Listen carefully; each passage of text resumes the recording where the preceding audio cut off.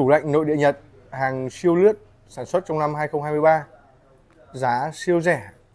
Giá cụ thể là bao nhiêu thì chúng ta sẽ theo dõi vào cuối clip các bạn nhé. Chào các bạn, tôi là Bùi Huy, đại diện cho kho hàng Nhật.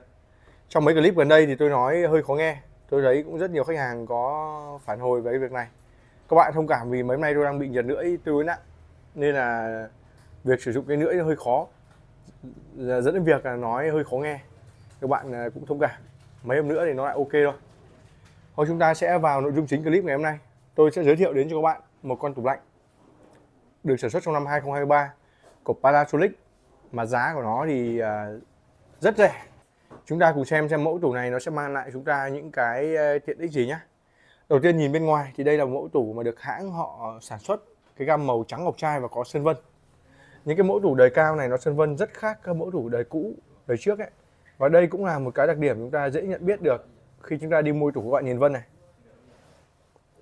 Đó, tôi cố lấy led cho các bạn xem cái vân của những mẫu tủ đời mới.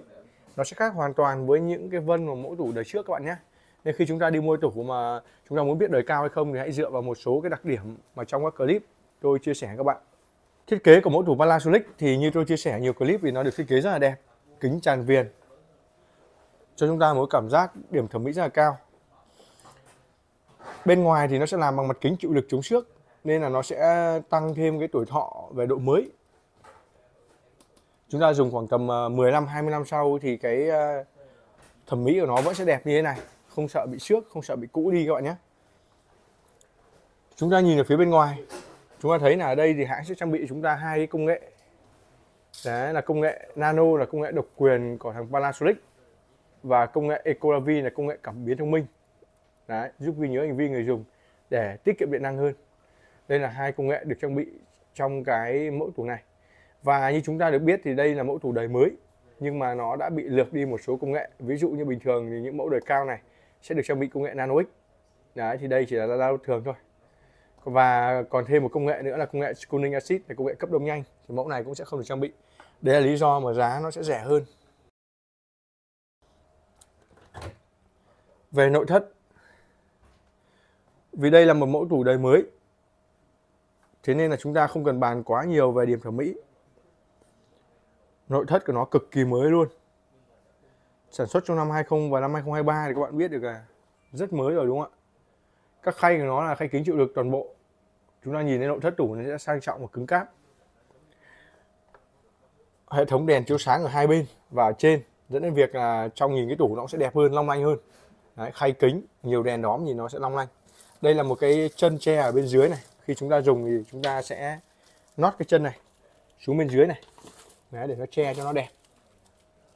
Họ rất là cẩn thận về họ bọc cả đi lông tránh vấn đề xước khay. Trên này thì sẽ là một cái khay đựng trứng. Đây là những cái phụ kiện đi kèm.